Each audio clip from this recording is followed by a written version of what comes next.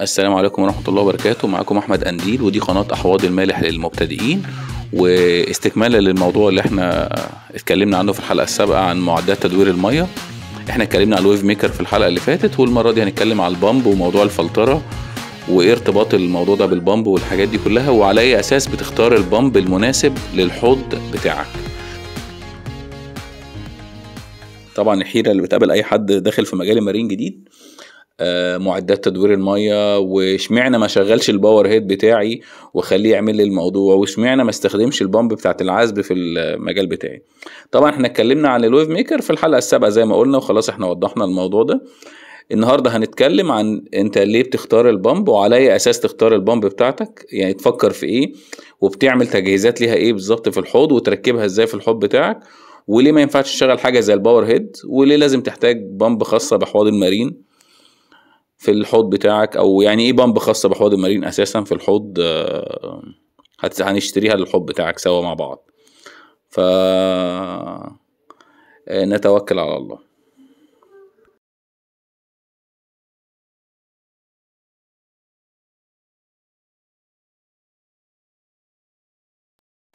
طبعا آه، البامب دي معدة مهمة جدا أو المضخة دي معدة مهمة جدا عاملة زي القلب بتاع أي كائن حي.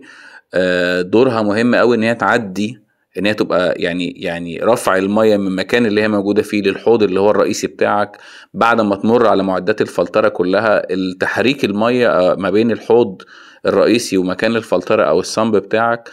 مهم قوي إن هو يبقى بقدرة كويسة ومناسبة بحيث إن هو يساعد المعدات دي إن هي تعمل الوظيفة بتاعتها بتاعت الفلترة على أكمل وجه وفي نفس الوقت ما تبقاش كبيرة جدا أو يعني قدرتها عالية قوي بحيث إن هي ترهق الاسماك بتاعتك أو تعمل لك مشاكل في الحوض أساسا. فيا ترى بنختار أي أساس ده اللي إحنا هنتكلم فيه آه، دلوقتي. أول نقطة في الاختيار المواصفات بتاعت المضخة المناسبة للحوض بتاعك هي بتختار قدرة البامب بتاعتك على أساس كام لتر في الساعة. فتعال نشوف سوا كام لتر في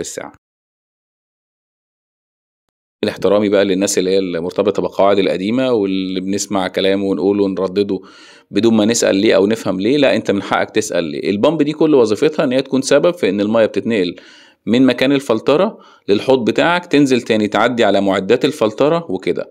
ففي قاعدة بتتقال إن هو لازم تكون عشر مرات قد ال- المية اللي في الحوض يعني لو حوضك 100 لتر تبقى تلات تبقى 1000 لو حوضك 500 لتر تبقى 5000 أنا بقول لك العشر مرات دي غلط. الناس بالعكس ده في هواة بيجيبوها ويجيبوا ال pump 10 مرات قد الحوض وفي الآخر يضطروا يقللوا القوة بتاعتها من ال control بتاعها عشان خاطر بتبقى عاملة صوت ودوشة والمية معدل سريانها زايد قوي فما بتبقاش انت محتاج كل الك- الكلام ده. طب يا ترى في أي sump مثلا مثالي في حوض ال marine هنقول فيه شوية معدات هي الطبيعي تبقى موجودة مثلا. آه، فلتر شراب skimmer رياكتورات آه، سخان عندك صوابع مثلا بكتيريا عندك refugium عندك لمبة UV مثلا متركبة عشان تفلتر في الحوض بتاعك عندك آه، مضخة بتعمل بتدي جرعات للحوض اسمها ال dosing pump أو ال doser. آه، كل ده متركب في نظام الفلترة بتاعك. يا ترى كل معدة من دول بتحتاج يعدي عليها المية كام لتر؟ هقول أول معلومة طبعا ويعني أنا تعبت على ما لقيت لها مرجع. فلتر الشراب اللي قطره 10 سنتي فوق من فوق وطوله 39 سنتي محتاج 760 لتر أقصى حاجة تعدي عليه في ال في, ال في الوقت اللي هو بتاعه في اللي هو يعني يعني ده اللي هو اللي حاجة اللي يقدر يفلترها بسهولة وفي نفس الوقت تديك كفاءة عالية في الفلترة بتاعته. آه، ال skimmer بيبقى دايما قدرته ثلاث أو أربع مرات أو هي قدرة ال pump أو كمية الميه اللي بيسحبها عشان يقدر يفلترها قد ثلاث أربع مرات ال- الميه بتاعت الحوض بتاعتك. الرياكتورات أو المفاعلات بتبقى من يعني أقل من مرة أو ممكن تطلع لحد مرة لثلاث مرات حجم الميه اللي في الحوض بتاعك. الصوابع ال- البكتيريا أو الميديا وفي نفس الوقت ال- السخان بيحتاج من أربع لخمس مرات حجم الميه بتاع الحوض يعدي عليه. بقى الميديا لازم آه، يبقى عليها تيار كبير. لا أقول لك ما يبقاش عليها ميه بتعدي كتيرة. ممكن تركب على الميديا وده هيديك كفاءة عالية جدا. wave maker يخلي الميه في الحيز اللي موجود في الميديا ده بيتحرك عليه الميه كتيرة فده هيديك كفاءة فلترة بيولوجية أعلى. ال UV بتحتاج من مرة لثلاث مرات برضو على حسب قدرة ال ال ال حسب حجم المية اللي في الحوض بتاعك وفي نفس الوقت أقل من كده بكتير. وبيقول لك إن ال refugium لو أنت المية بتعدي عليه ما بيحصل فيها تغيير في الكيمياء ما بينها ما بين الحوض الرئيسي بتاعك فخلاص عادي فبرضه من 3 ل 4 مرات عادي جدا. بالتالي قاعدة 10 مرات دي انساها. واللي إحنا كده متفقين عليه واللي أحسن ليك حتى لميزانيتك هيبقى إنك تجيب pump خمس مرات أو أربع مرات قد حجم الحوض بتاعك ويفضل خمسة عشان اللي أنا هقوله لك بعد كده. اتفقنا على النقطة دي؟ تعالى بقى نتكلم في التجهيز لل pump دي اللي أنت هتركبها في الحوض بتاعك. مهم قوي إن أنت آه، تخلي في اعتبارك إن ال pump دي هيتركب لها وصلات بتجيب المايه من الحوض لتحت المكان الفلترة وفي في ماسورة هتاخد منها من ال pump أو من المكان الموجود في ال pump لتطلع تاني الحوض بتاعك عشان نعمل الدايرة اللي هي المغلقة بتاعت الفلترة دي؟ فيا ترى الكلام ده حطه في اعتباري إزاي؟ هقول لك إن في عالم اسمه هازن ويليامز الراجل ده عنده في معادلة كده بتقول لك إزاي تقيس اللي هو قطر الماسورة المناسب لل pump. يعني لو أنا جايب 3500 لتر pump المفروض ال pump الماسورة اللي بترجع بقى من الحوض بتشفط الماء من الحوض أو الماء بتنزل فيها اوتوماتيك من الحوض نتيجة الجاذبية. تبقى قطرها قد إيه؟ في معادلة علمية طبعا مش هدخل مش هدخلها فيها بس هبعت لك المعادلة تشوفها قدامك اللي هي اللي قدامك دي. آه بخلاف المعادلة دي في جداول معروفة اللي هو بيمشوا عليها بقالهم فترة. المعادله الجداول دي بس الغرض منها إنك أنت تبقى عارف ال pump بتاعتك. لو هتجيب مثلا pump 1000 لتر ممكن تركب ماسورة قطرها قد إيه؟ تسحب المية بحيث إن لما الحوض يتضاف فيه 1000 لتر في الساعة هينزل منه 1000 لتر في الساعة. لأن أنت لو حاطط pump بتطلع 1000 لتر في الحوض. والماسورة يا دوب تنزل 500 لتر في الحوض هتلاقي الحوض بتاعك مَيته كلها على الأرض. أكيد دي حاجة أنت مش محتاجها. فهقول لك إن لو بصيت كده للجدول ممكن تاخده screenshot وتخليه عندك دي الأقطار بتاعة الماسورة. أقل الرقم القليل ده بتاع لو الماسوره بتاعتك نازلة. وفي حاجات بتقاوم آه، سريان المية زي أكواع أو وصلات أو حاجة زي كده بالتالي هيبقى القدرة اللي هي الرقم القليل ده أو معدل سريان المية فيها الرقم القليل ده. ولو مفيش حاجة والماسورة قصيرة وعدل على طول هيبقى الرقم الكبير ده اللي هو أقصى حاجة الماسورة تقدر تاخدها في الساعة.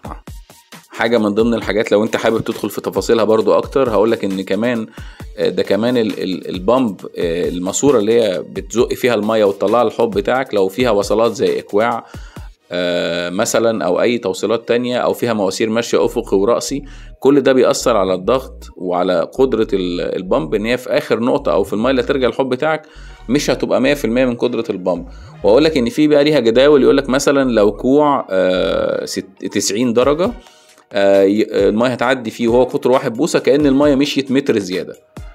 فدي حاجات تحطها في اعتبارك. بس يعني إحنا بنتكلم على الأحواض والموضوع أبسط من كده شوية حبتين. فأقول لك إن كل الشركات المصنعة للبمبات بتعمل زي خرايط بيقول لك إن مثلا قدرة البمب لو 1000 لتر في الساعة هتطلع لحد متر. لو لو 2000 هتطلع لحد 3 لحد 3 متر وهكذا. فلازم تبص للخريطة وتراعي قطر المواسير وأطوال المواسير اللي أنت هتركب عليها ال pump عشان توصل المية للحوض الرئيسي بتاعك آه، وترجعها لك تاني في نفس في نفس الدائره المغلقة.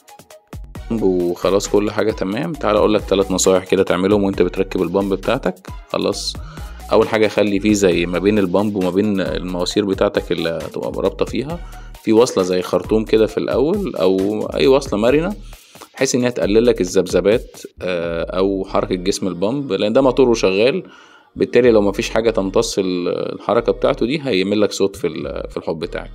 حاول تركب لو صمام check valve اللي هو نظام البوابة ده.